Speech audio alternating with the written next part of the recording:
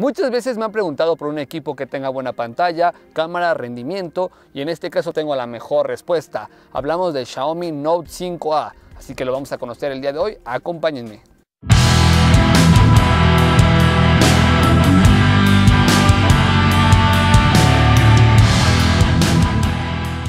Las prestaciones del equipo son bastante buenas a tomar en cuenta su segmento.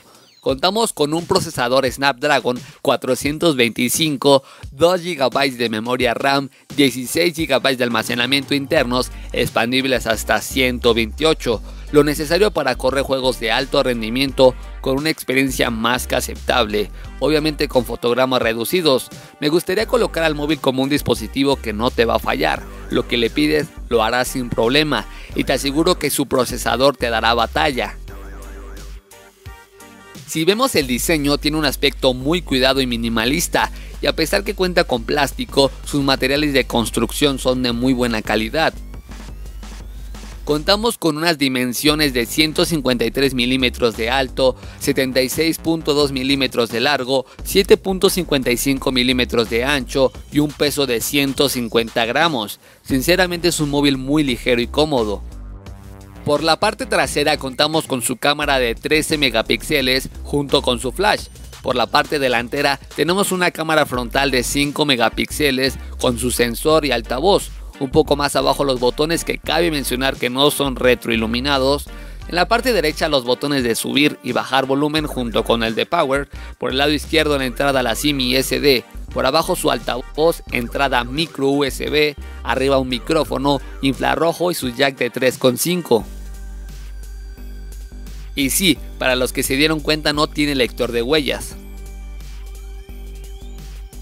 Ahora si vemos a más detalle su pantalla, tenemos 5,5 pulgadas en resolución HD con protección Corning Gorilla Glass.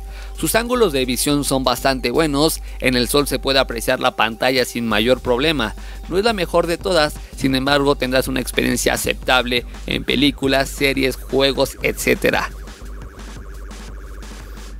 Si nos vamos directamente a la cámara, tenemos una principal de 13 megapíxeles con una apertura f2.2, compatible con tecnología PDAF. Es una cámara súper buena, muestra resultados muy reales, los colores los interpreta correctamente y aún mejor, contamos con el modo manual o HDR. Al igual podemos agregar filtros en nuestras fotografías para darle un toque más artístico.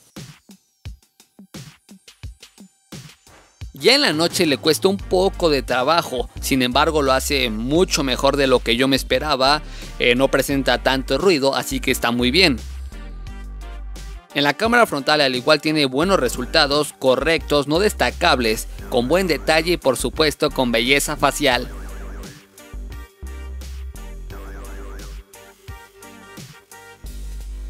El video del equipo es bueno, tenemos la grabación hasta 1080 a 30 fps, cosa que se agradece muchísimo.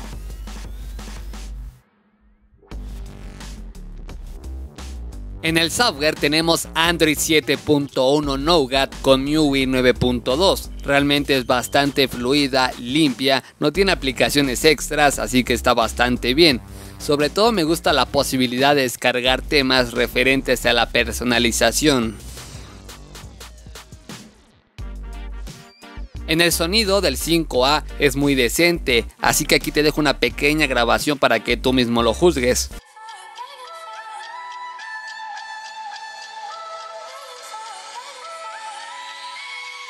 En la batería tenemos 3080 mAh, lo suficiente para todo el día, realmente es uno de los puntos más fuertes del equipo, así que en este apartado no te preocupes que tendrás un buen resultado frente a la autonomía.